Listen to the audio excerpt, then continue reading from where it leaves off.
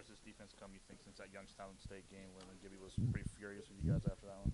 I think we've come a long way since spring ball, fall camp, uh, Youngstown State. I mean, from last week, it's all about improving. I mean, Gibby doesn't let us get complacent, and that's one thing. Every week, he, he's going to keep hounding us, keep trying to get us better for hopefully the end of the year.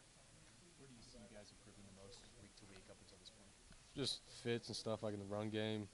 I mean, tackling, uh, things like that. I mean, having them cut back on us, stuff like that.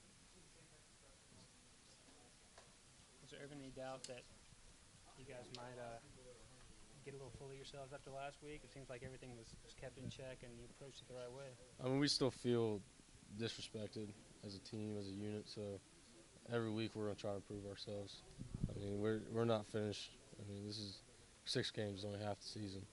So I mean, there's a lot more games out there to be played. A lot more great opponent, opponents. We have another one next week.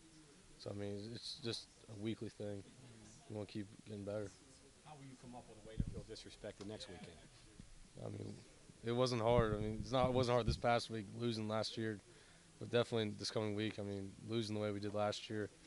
I mean, it's, it's definitely in the back of our minds.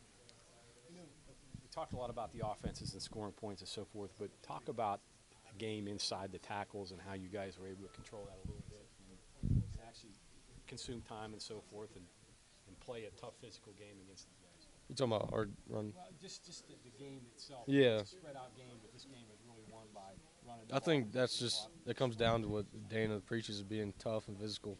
I mean, that's one thing we want to pride ourselves on, and basically make us make the other team feel us. Basically, I mean, we want to be physical in the trenches. I mean, our front seven, offense, defensively. Mean, that's what we want to do. We want to hit them in the mouth instead of let them hit us.